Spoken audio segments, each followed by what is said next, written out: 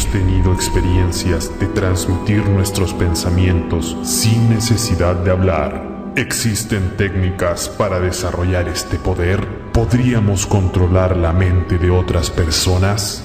Este sábado, 8 de la noche, las voces del silencio. ¿Existe la telepatía?